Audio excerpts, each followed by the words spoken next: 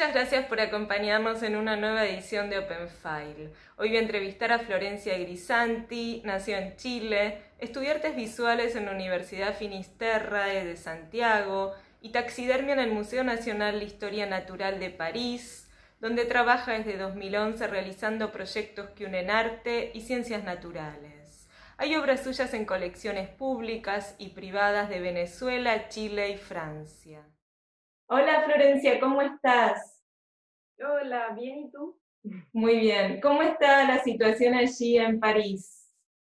Está tranquila, mejor que antes por lo menos, pero mm, ahora están aplicando las máscaras en la calle, entonces está un poco está un poco difícil salir porque ya como que uno no siente que salir a la calle, respirar sea posible salimos a la calle a ahogarnos con las máscaras, pero bueno, mm. Todo eso es para evitar que haya un reconfinamiento y creo que la gente está más entregada a hacer lo que las autoridades dicen. No sé si es una buena cosa eso. Mm. Y contame, ¿qué fotografía o qué serie elegiste para esta edición de Open File? Em, quería empezar sobre todo con una serie fotográfica que hice hace un buen tiempo, que marca mis inicios con, con mi relación con la taxidermia. Y es una serie de fotografías que en realidad eh, es el registro fotográfico de una serie de objetos que hice eh, que se llama Herbario y que mm, fue de alguna manera la obra emblemática de un site específico que hice para el Museo de Historia Natural de Santiago de Chile hace, hace muchos años atrás.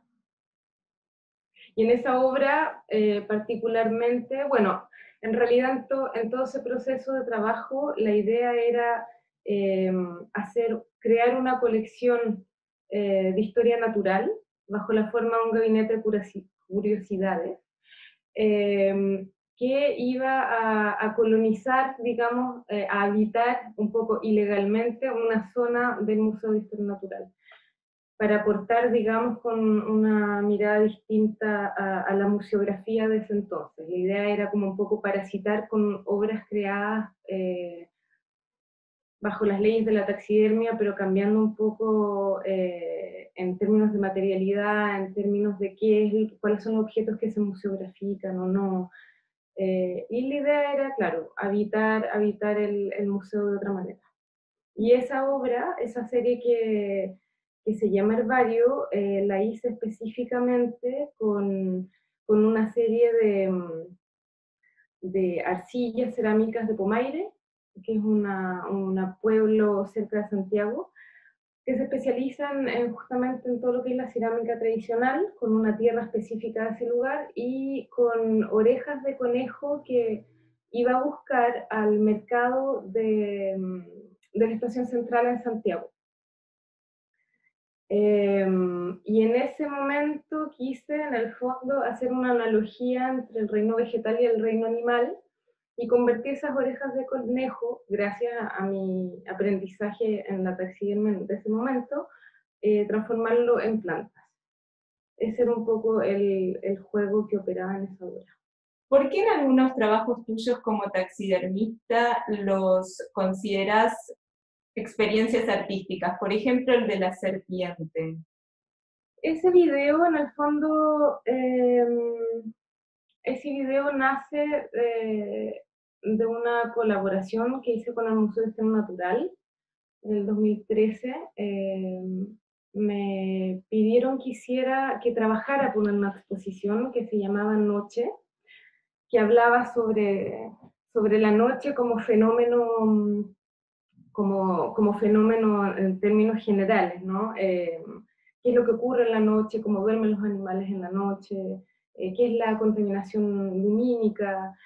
Y armamos toda una exposición donde a mí me invitaron a, a naturalizar, porque esa es la palabra que se ocupa correctamente en taxidermia, una serie de animales en posición de, de sueño. Eh, uno de esos animales eh, era una gran serpiente de 6 metros que había muerto en el zoológico hace 20 años atrás y que había que naturalizar porque no, en las colecciones del museo no había una serpiente de ese tamaño y era interesante mostrarla. Eh, y en ese momento, era, bueno, era tan especial la invitación que decidimos con, con Tito, mi binomio en Ritual Inhabitual, que es mi colectivo, eh, hacer un, un, pequeño, una, sí, una pequeña película sobre, sobre la experiencia.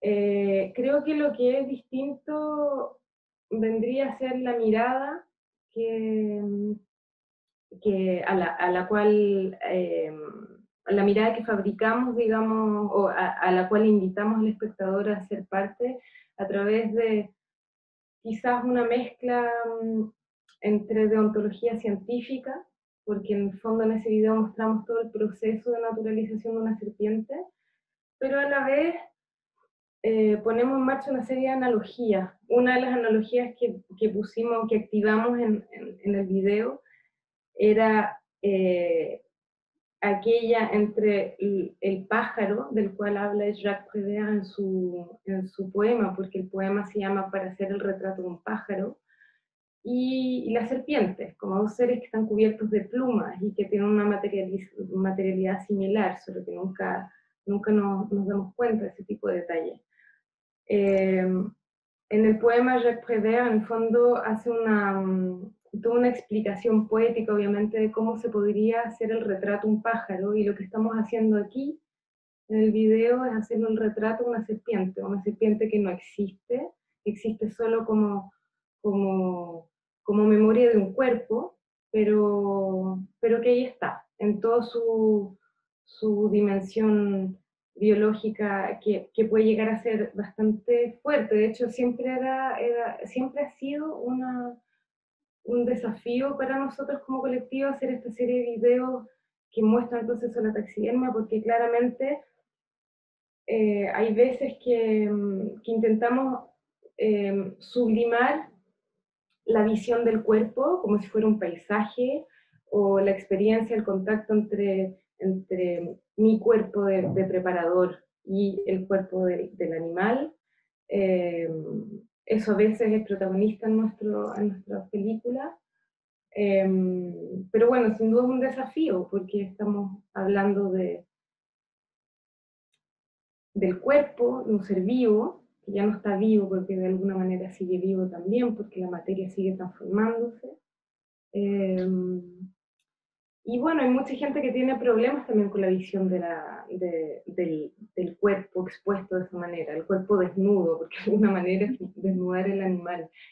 Eh, entonces, la idea siempre es estar poniendo esos filtros. Creo que el poema es un filtro, eh, el hecho de montar ese video, eh, que es un video de proceso, desde el final hasta el principio, y no desde el principio hasta el final, de manera cronológica me parece que mm, yo, yo, no puedo responder a esa pregunta si considero que es arte o no, porque en mi oficio en el fondo se, mezclan esas dos, esas dos visiones, digamos, esas dos perspectivas, que es una muy naturalista, científica, porque me he formado en, esa, en ese mundo, y por otro lado, eh, mi, no sé, la subjetividad de mi práctica artística también. Son cosas que conviven y yo, yo en el fondo creo que estoy habitada por esas dos, dos formas de mirar la realidad. Y a veces son más científicas, a veces son más artísticas, y quizás no son ninguna de las dos tampoco. Y, y, hay otro de tus trabajos donde también jugás con ese límite, donde te preguntás si es posible hacer una película erótica, eh, porno eh, o gore a partir del mito de Leda y el cisne y ahí diseccionaste un cisne, pero es un, un, cuerpo también para ponerte sobre el tuyo. ¿Me contás un poco cómo fue el proceso para hacerlo?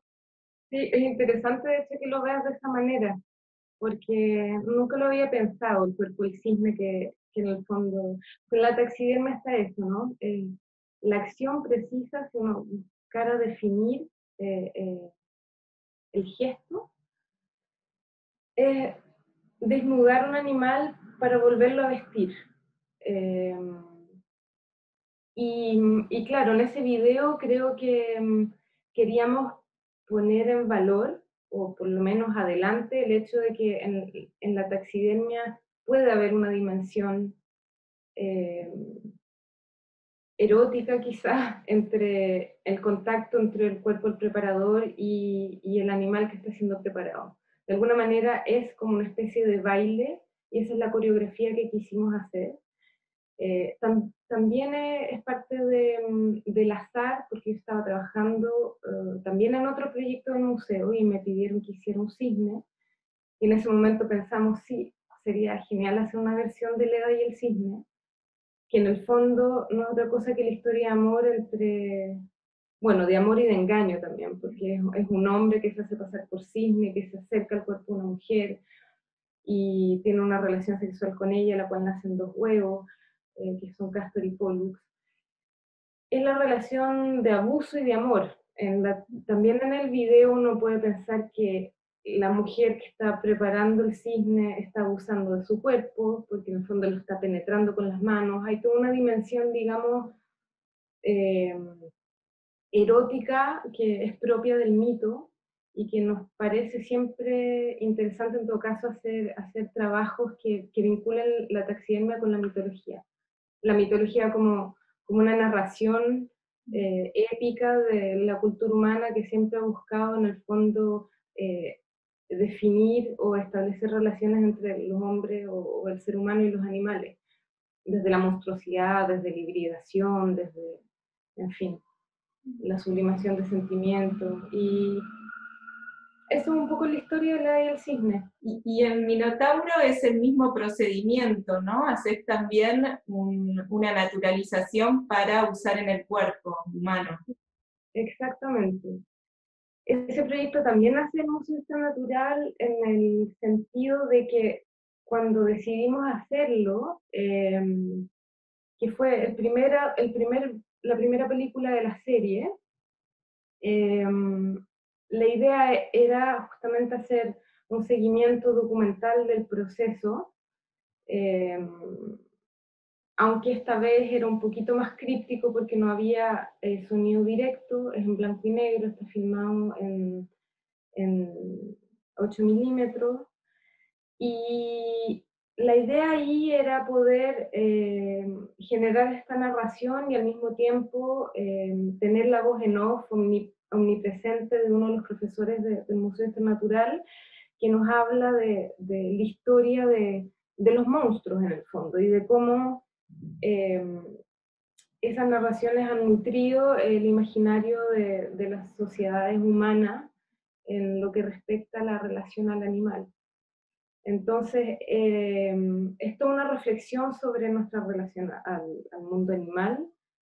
Eh, y que tiene como trasfondo la creación de este, de este ser que en el fondo no fue otra cosa que el azar de nuevo, porque el museo es divertido, ahora me doy cuenta, siempre son como desafíos que el museo me, me, propone y luego se transforman en, en piezas, digamos, en obras, en obras audiovisuales, pero lo, el el, eh, ¿cómo se llama? Eh, el punto de partida fue justamente que el museo tenía esta piel que está abandonada en, uno de los hangares, que no había sido, eh, que no había sido posible naturalizar como, como animal, y me regalaron la piel, me la donaron.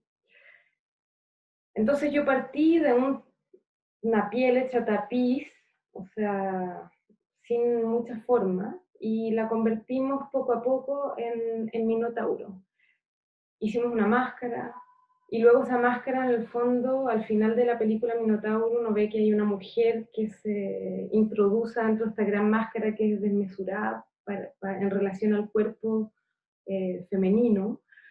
Y mm, era indispensable que fuera una bailarina, creo que era indispensable que fuera mujer también, era una una hibridación más de nuestra interpretación.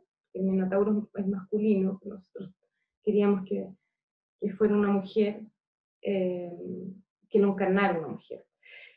Y el Minotauro de alguna manera se activa, se transforma en, en personaje mitológico, esta máscara inerte, cuando la bailarina eh, lo habita y lo baila. ¿Y tus colegas del Museo Nacional de Historia Natural te apoyan? Eh, ¿Cómo es la relación con ellos? La verdad que ahí hay una persona fundamental que fue la que me abrió las puertas y que es Christophe Gottigny, que es el, el jefe de la plataforma. Y él la verdad que ha hecho de esta plataforma de taxidermia de restauración un lugar de intercambio infinito. Y eso es muy interesante porque creo que yo nunca viví en otros lugares una experiencia de tanta colaboración. Es un terreno tan enriquecedor entre biólogos, zoólogos, preparadores, artistas, fotógrafos, eh, y todo eso gracias a la voluntad de una persona. Y yo tengo, he tenido la libertad justamente de hacer un trabajo eh, artístico en el seno de una institución científica por la única razón de que colaboro con ellos de manera en el marco científico, creo. Pero todo toma tiempo, creo que es como todas las relaciones. yo siempre hablo de que en, en, los museos en los que he estado, eh, mi manera de estar ha sido parecida a la de un parásito que llega a un cuerpo y que se adapta y que intenta mm, ser lo más eh, benévolo posible también. O sea, mm, yo siento que tengo cosas que aportar, pero muchas veces la institucionalidad no, no le da libre curso a, proposiciones que vienen desde el arte. Yo sé que para los artistas es súper difícil abrirse camino en las instituciones científicas. Ahora se está haciendo un poco más y creo que, mm, que hay algunos que no han logrado muy bien. ¿Y de dónde provienen los animales que se naturalizan? Generalmente son donaciones, son donaciones que se le hacen a los museos y vienen de zoológicos o de terrenos de científicos, em, de centros de cuidado y todos mueren naturalmente. O sea, son animales que no son cazados para la taxidermia, sino que son parte de un proceso de recuperación. Y mm, a mí personalmente me interesa eh, recalcar eso, de que son animales recuperados y que es parte del fondo, en el fondo de un, proceso de reciclaje y de transformación. Y Florencia, ¿cómo fue el proceso de restauración de la colección de colibríes de la baronesa Rothschild?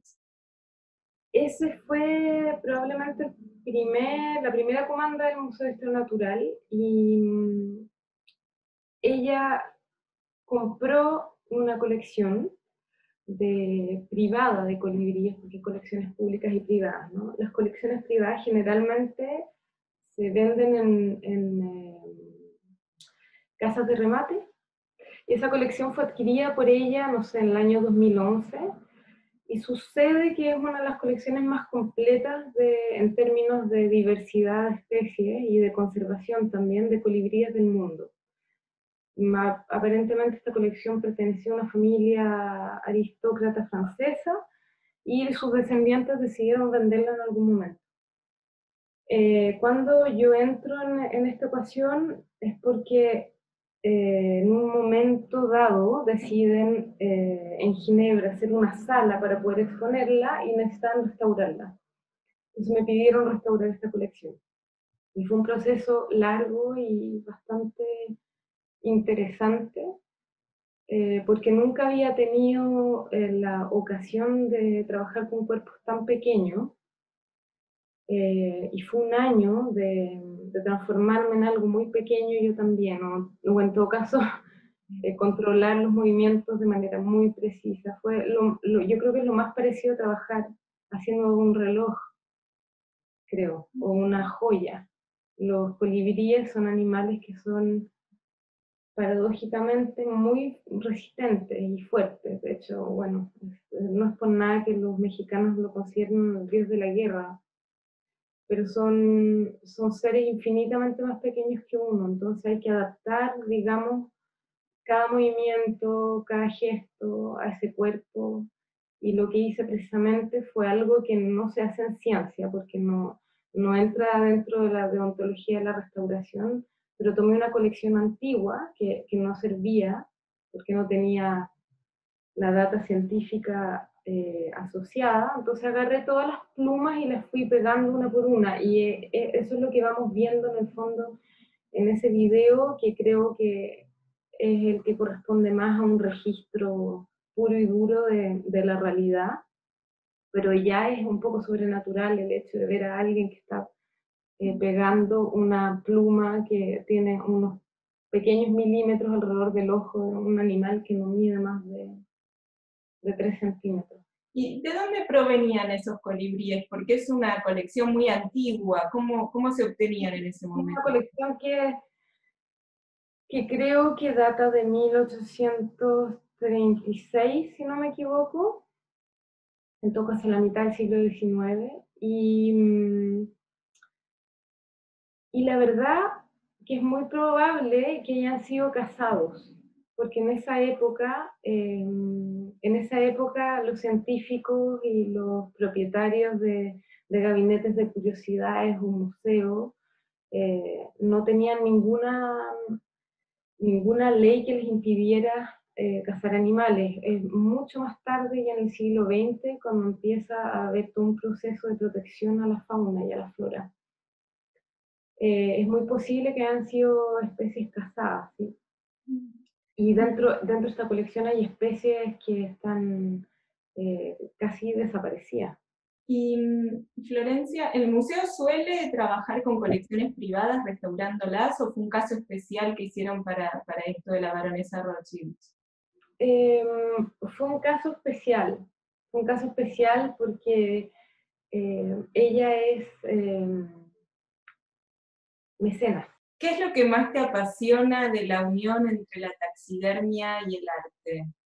Lo que más me apasiona es el, hecho de que la taxidermia es como una especie, fue para mí como una especie de vía iniciática a, existencias que, que, no son humanas. Yo creo que siempre me he sentido más cerca de,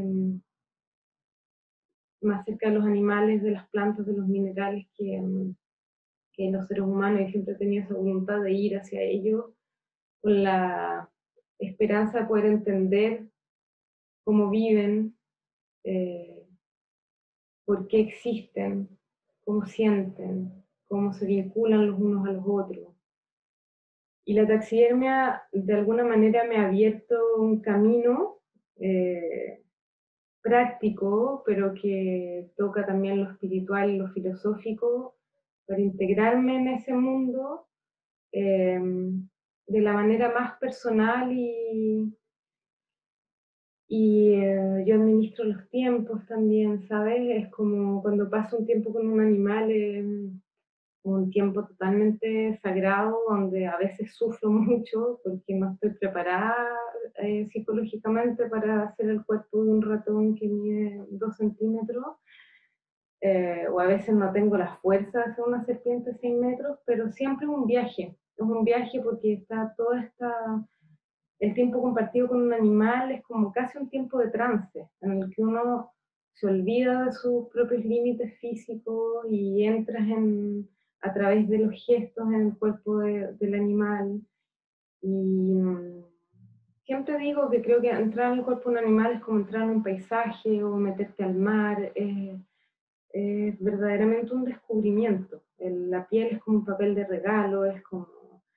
Es, de verdad la anatomía del animal es un paisaje que siempre me permite hacer vínculos con otras cosas. Y mm, creo que es un buen útil también, una buena herramienta para, mm, para sensibilizar a, a los que tienen menos acceso a ese, mundo también, a los que están más cortados de la naturaleza, aunque yo no creo que haya... Yo, yo no soy de la idea de pensar que el, que el, que el ser humano y la naturaleza son cosas eh, indistintas. Me parece que es un, ese es un gran error del paradigma etnocentrista es pensar que el ser humano está eh, en un lugar y que tiene que integrarse a la naturaleza. Me parece que el ser humano es parte de ella y que todo lo que creamos es parte de, de la naturaleza también. Muchísimas gracias por sumarte a esta edición de Open File. Gracias a ti, Marina, por la invitación. Un abrazo.